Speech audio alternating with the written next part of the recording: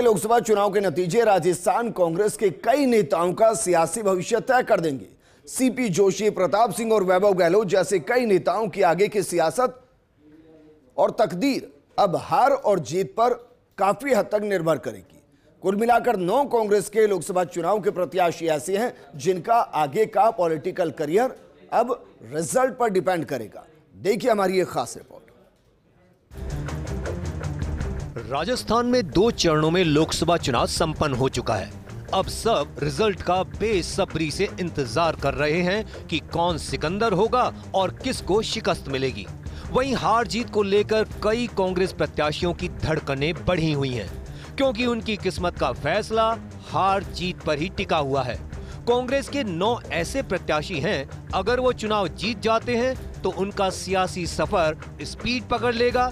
अगर हार का सामना हुआ तो फिर पॉलिटिकल करियर में ब्रेक भी लग सकते हैं। इस लिस्ट में किन नेताओं के नाम शुमार हैं, इस पर नज़र डालें तो वैभव गहलोत।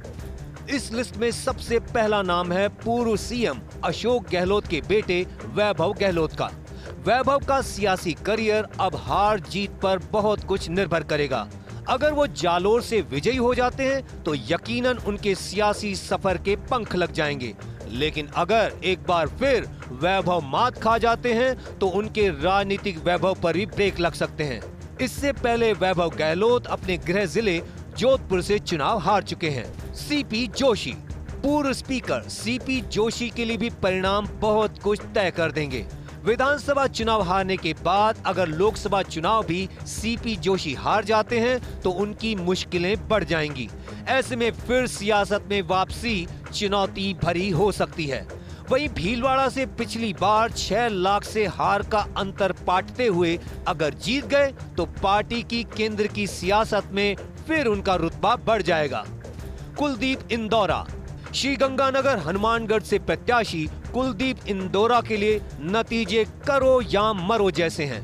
क्योंकि वो पहले दो विधानसभा चुनाव हार चुके हैं और अब अगर फिर लोकसभा चुनाव हार गए तो यकीनन सियासी करियर को ग्रहण लग जाएगा। अगर इंदौरा जीत गए तो फिर राजनीति पटरी पर भी आ जाएगी। प्रताप सिंह खाचरियावास।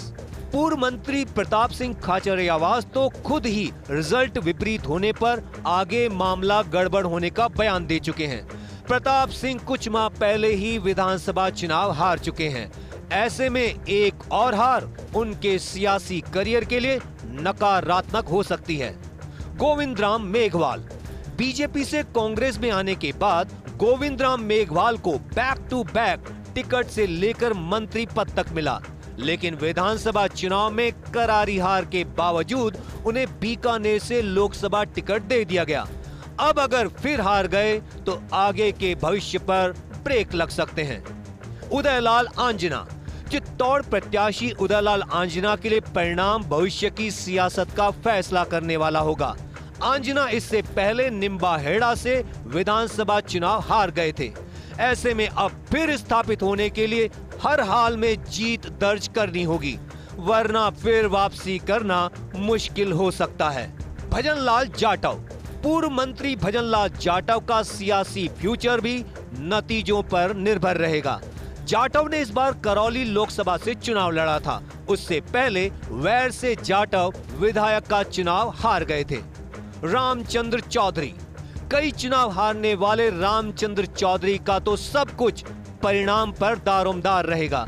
अगर इस बार भी चौधरी हार गए तो आगे फिर किसी भी चुनाव का टिकट मिलना संभव नहीं होगा। वहीं चौधरी की उम्र भी ज़्यादा हो चुकी है तो लिहाजा बिना जीत हासिल किए कह सकते हैं यह उनका आखिरी चुनाव ही होगा। संजना जाटव, युवा नेत्री को कांग्रेस पार्टी ने बहुत कम उम्र में दो टिकट दे दिए।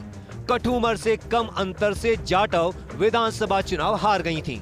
फिर पार्टी ने उन्हें इस बार भरतपुर से लोकसभा चुनाव के रण में उतार दिया। अब अगर जाटव जीत जाती हैं तो आगे के उनके सियासी करियर में चार चाँद लग जाएँगे। लेकिन हारने पर संजना जाटव के लिए, फिर खोने के लिए बहुत कुछ होगा। लिहाजा ये सभी प्रत्याशी दिल थाम कर 4 जून के रिज़ल्ट के दिन का बेसब्री से इंतज़ार कर रहे हैं। यकीनन इनको पार्टी ने खूब मौके दिए। लेकिन अब वक्त आ गया है चुनाव जीतकर ये खुद को साबित करके दिखाएँ।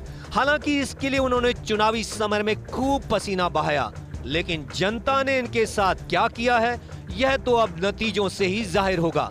लेकिन यह तय है, हार जीत इनकी सियासी तकदीर का ही अब फैसला कर देगी।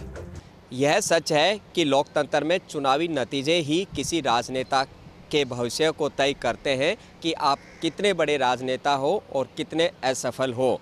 आप भले ही पब्लिक मीटिंग में कितनी ही भीड़ इकट्ठा कर सकते हो अच्छा भाषण दे सकते हो, लेकिन आपकी हार जीती यह तय करती है कि आपके आगे का सियासी फ्यूचर कैसा रहेगा।